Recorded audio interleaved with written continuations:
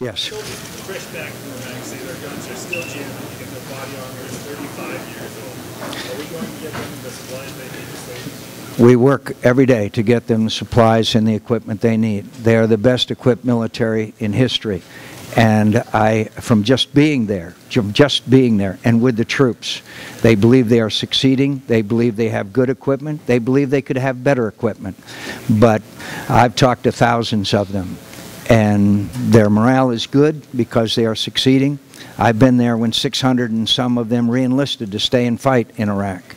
And I will continue as a member of the Armed Services Committee to do everything in my power that they are fully equipped, fully ready.